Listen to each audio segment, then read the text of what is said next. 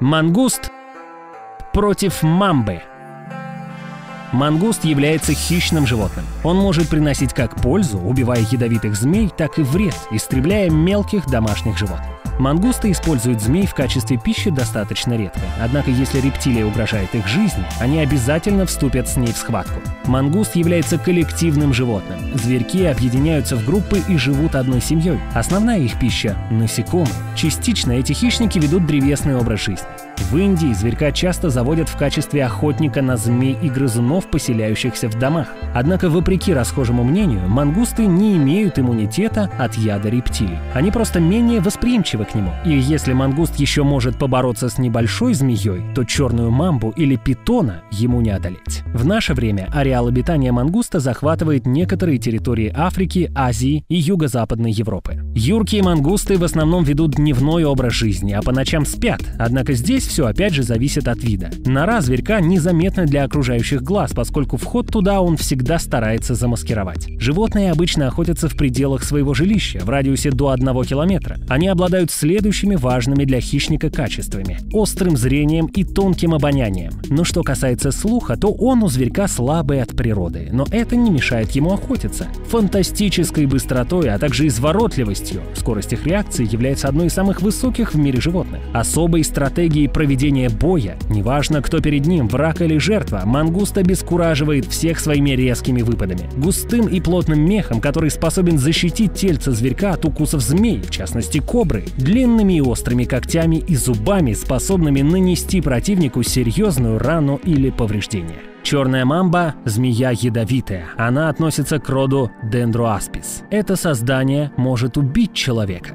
Местные жители считают эту змею едва ли не самым опасным представителем фауны своего края. Это не случайно, ведь разъяренная мамба, благодаря способности быстро передвигаться, может догнать человека. Змея отличается крупными размерами. Взрослые особи могут достигать от 2,5 до 4 метров в длину. В толщину это создание редко превышает по размерам мужской кулак. Тело черной мамбы гибкое и стройное, поэтому она может бесшумно передвигаться по земле, не привлекая к себе внимания. Благодаря своей темной окраске рептилия может устраивать засады в густой траве и под кустарником. Яд черной мамбы чрезвычайно токсичен. Несмотря на то, что змея постоянно имеет запас яда, составляющий около 400 мг, за один укус она обычно впрыскивает не более 100-150 мг. Стоит отметить, что для человека смертельной является доза 10 мг. Яд действует разрушающе на нервную систему и мускулы, поэтому смерть обычно наступает от удушья и остановки сердца. Как и у многих других видов змей, у черной мамбы имеются два длинных зуба. Яд впрыскивается именно во время укуса ими.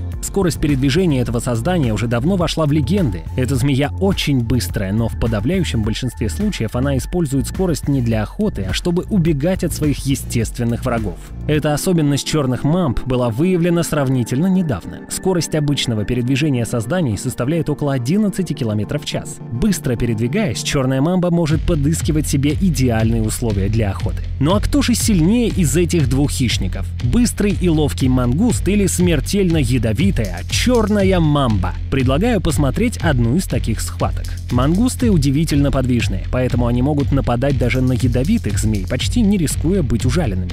То же время, вопреки расхожему заблуждению, у мангустов нет иммунитета к змеиному яду. В бою с ядовитой змеей мангуст за счет обманных движений и прыжков в сторону уклоняется от укусов, постепенно изматывает змею и затем нападает сам. При этом, даже если змея достает зверька своими ядовитыми зубами, ей не всегда удается ужалить мангуста, поскольку его защищает густой, плотный мех.